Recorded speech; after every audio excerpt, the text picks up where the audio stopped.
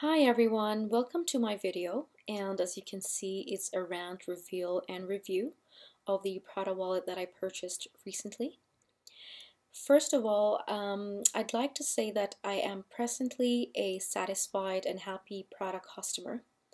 However, that hasn't always been the case and um, I've also heard and read a lot about Prada's declining quality um, of their leather goods in particular at Purse Forum. I've also seen a couple of videos on YouTube talking about how the sealant on the handle of their leather bags peeling, um, even on the wallets and the stitching coming off. Now, I've had a similar experience and I'm hoping that sharing that experience would at least make um, your purchasing experience more pleasant and that you can avoid um, going through what I did. I went to their Calgary Holt Renfrew store here in Canada, and to make the very long story short, I the first wallet that I picked was the multi wallet in um, Peony Pink. I believe at that time it was 570 plus tax, and now it's 580. And the problem with that was it had a tear on the leather, which was confirmed by a local leather repair company. And that was obvious because there was clear separation of the leather, um, the flesh was visible, and the Saffiano pattern was disrupted. And also, stitching in several areas had come off.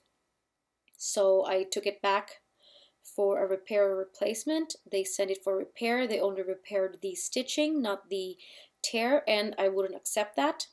So eventually, the manager, with much difficulty, agreed to an exchange.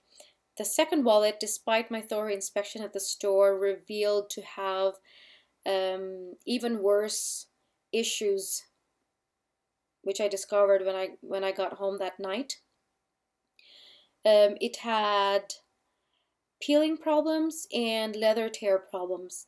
And those are a big no-no because having peeled leather or peeling leather and tearing leather just compromises the quality of your product.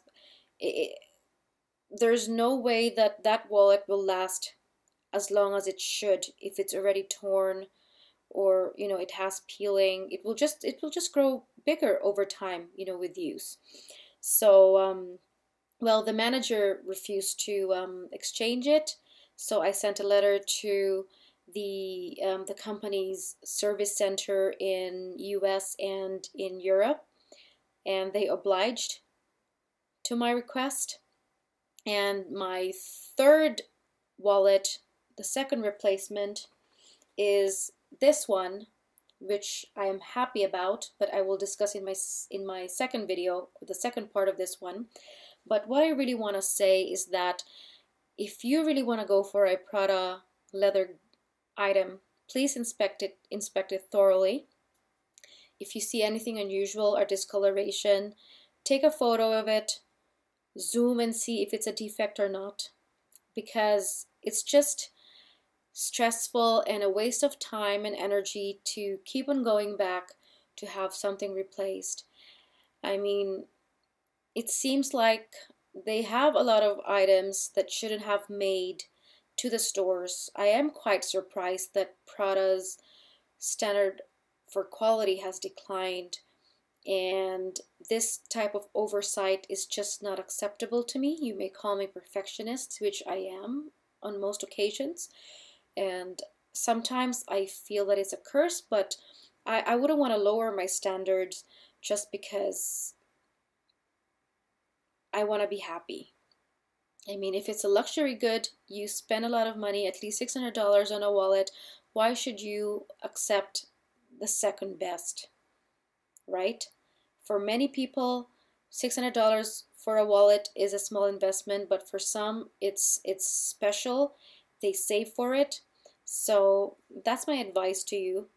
Be careful and if you do buy a leather product from Prada, inspect it the day you get you take it home the next day look at it thoroughly because I believe their exchange policy is only um, applicable a few days um, but they have a one year repair policy and that's per um, purchase. So that does not apply to the exchange exchanged product. Um, so you've got to be careful. And I'm hoping that um, this video would um, make you familiar with the kind of issues that you might encounter with Prada and improve your experience. Um, and you know have you know just be happy with your purchase so if you have any questions and um, any comments just just put them below. I will also link the two or three videos that I've seen talking about product quality issues. And um, after this I will add the photos so that you can have an idea of you know the problem that I encountered with them. Thank you for watching and um, I hope you watch my part two of this video. Thank you.